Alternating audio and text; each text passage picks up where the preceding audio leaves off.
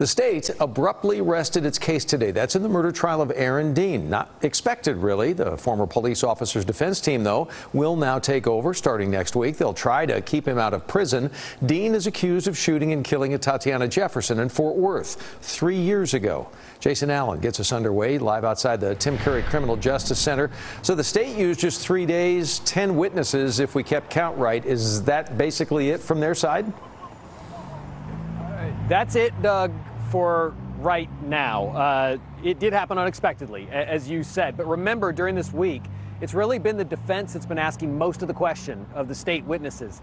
Could be flipped around the opposite way next week, and we could still see the state call some rebuttal witnesses, possibly even experts that we expected to hear from this week, and we didn't. The state finished up its part of the case today uh, by taking the jury really right through the crime scene, into and around that house on Fort Worth's east side, and into Jefferson's bedroom. And the defense tried to poke holes in the thoroughness of the investigation, not unusual, with crime scene officers acknowledging they may not have always followed the best practices in their record keeping.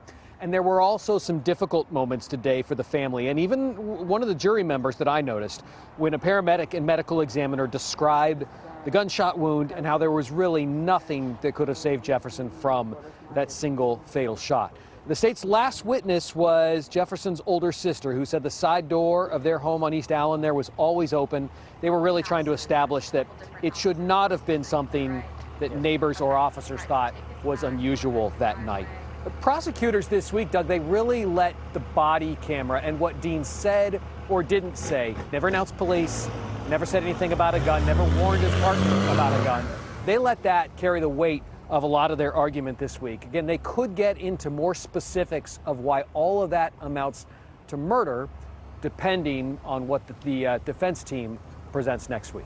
Okay, so a four-day weekend for now, and then they'll get back underway Monday. Thank you, and we know you'll be inside there starting Monday. Jason, thanks.